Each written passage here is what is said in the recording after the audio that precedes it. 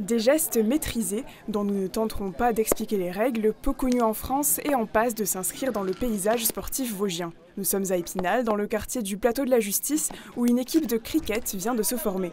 Les joueurs ont entre 17 et 27 ans. Leur point commun, tous ont le statut de réfugiés. Venus d'Asie du Sud, souvent tout seuls, certains ont tissé des amitiés sur ce terrain.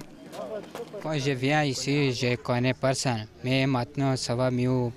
Tout le monde, je connais. L'équipe, ça aide aussi Bah, bah oui. Ali et ses coéquipiers ont créé leur propre association au sein du club de baseball et softball Les Schlitters d'Épinal, un exemple d'inclusion par le sport qui s'inscrit dans la semaine nationale de l'intégration des étrangers et primo-arrivants.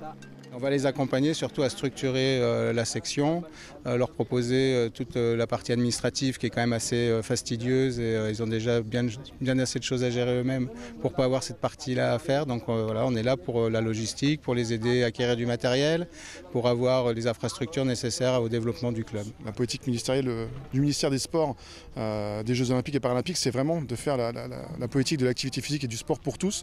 Donc évidemment que quand on a des réfugiés qui sont dans notre territoire, on se doit pouvoir faciliter leur intégration. La première équipe de cricket du Grand Est a déjà de l'ambition. Cette discipline importée du Royaume-Uni est le sport national dans le pays d'origine des joueurs. Le cricket au Bangladesh, c'est un peu comme le foot ici en France. Quand j'étais petit, je jouais au cricket tout le temps après l'école, mais quand je suis venu en France, personne n'y jouait. Mes amis sont de bons joueurs, alors je veux qu'on représente Épinal à travers notre sport. Mon rêve serait d'aller en équipe de France. Ça prendra du temps, mais je veux me concentrer sur le cricket et uniquement sur le cricket. Pour le moment, les 15 joueurs portent le maillot du club, mais devraient bientôt recevoir le polo et pantalon blanc, typiques de leur sport.